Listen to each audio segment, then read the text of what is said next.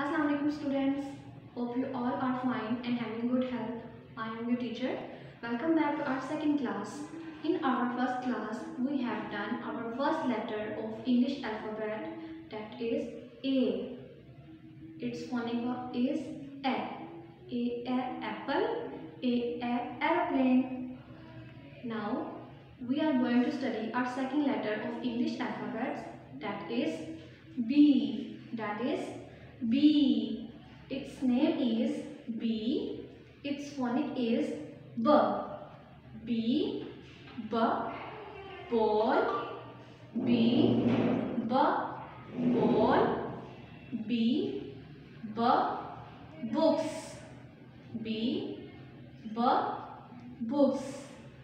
As students, you all know that everything has a specific name, shape and phonic. So, it's time to identify the shape of B. First, we need to draw a vertical line, then draw upper half circle, lower half circle to make B. How to write B? First, we need to draw a vertical line, upper half circle, lower half circle. Repeat it again.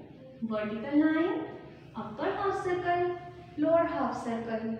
B. B. B. Ball.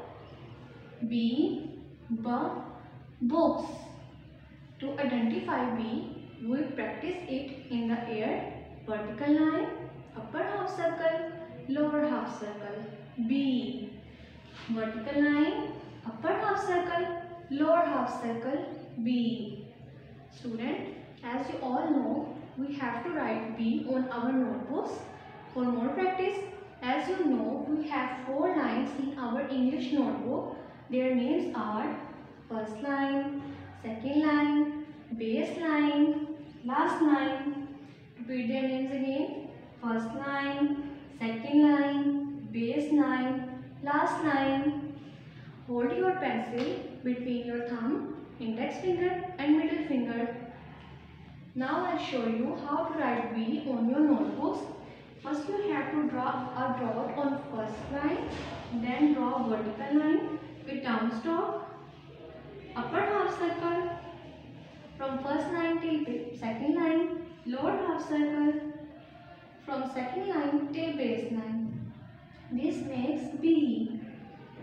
Small b, vertical line from first line till base line and draw half circle from second line till base line. B, B, B, B, B, ball, B, B, books. B, B, ball, B, B, books. Students, hope you guys understand and recognize the phonic and shape of letter B.